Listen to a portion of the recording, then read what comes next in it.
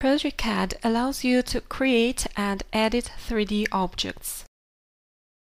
Offered at a far lower price than AutoCAD LT, progeCAD makes available much more commands and tools, among which you also have 3D modeling and rendering. progeCAD offers different 3D design systems and technologies. Wire mesh modeling this model consists of lines and curves which define edges of a 3D object. You can create a wire mesh model with the help of lines, arcs, polylines, and other 2D objects in any point of your 3D design environment.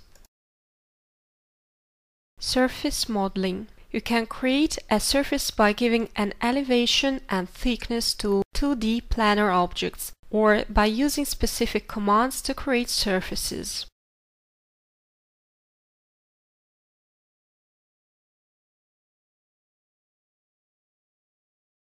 ACIS solid modeling. The solid models are more widely used because having a volume, they can be modified easier than surfaces. To work in 3D, you need to modify visualization of your workspace so that to see your shaped entities in the 3D environment. The main procedure of setting your 3D workspace is modification of the viewpoint position, preset viewpoints, orbit, and of the visual style wireframe, hidden lines, shaded images, or rendering.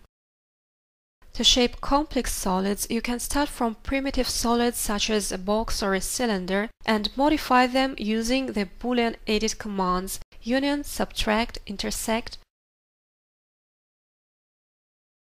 Or you can also start from 2D boundaries to obtain complex entities through the operation of extrusion. The extrude command prompts to indicate height of extrusion and a path,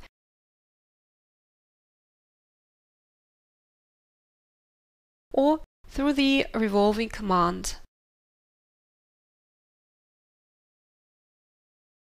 You can use such 3D editing operations as 3D rotate, 3D array, 3D mirror, also available in the program, and you can apply to solids chamfer, fillet, and slice commands. Further editing of solids is carried out through modification of faces.